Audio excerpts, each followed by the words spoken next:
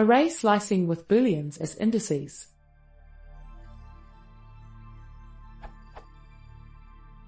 Can someone explain this syntax to me?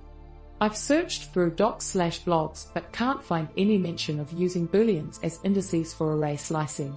I found this syntax in the script convert underscore base.py. My guess is that false is being cast to 0 and true is being cast to 1. Does anybody know for sure or can point me to any documentation?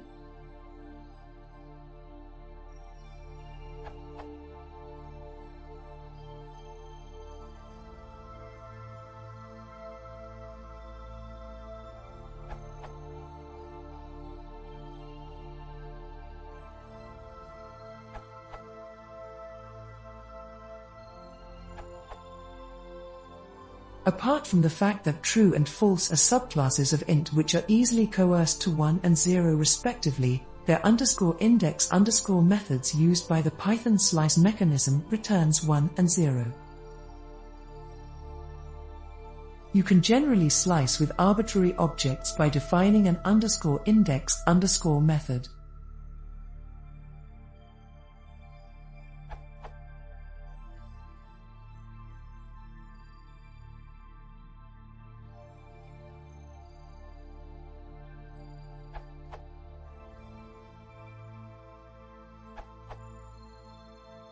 True and false are instances of bool, a subclass of int.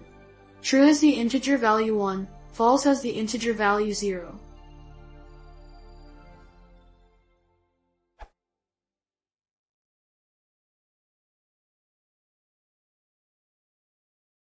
Even as a rule, portions